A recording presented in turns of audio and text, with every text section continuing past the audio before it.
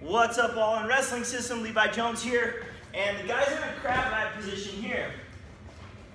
Okay, we're, we're, we're sitting down, and the guy's in a crab ride position, okay? Now, you've done a great job. You figured out how to do that technique that I previously talked about, or if you watch some of my videos, you know that it's important to keep your core forward, flex and forward, because if I get extended, okay, that's no good.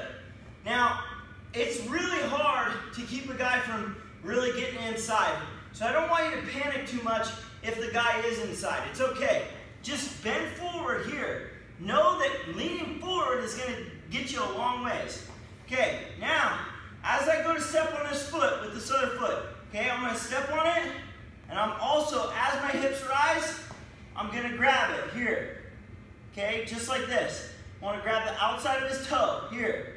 Okay, now, I know first and foremost, if I elevate this leg, he's gonna go backwards, okay? The guy with the head high wins typically, okay? So that's what I'm doing.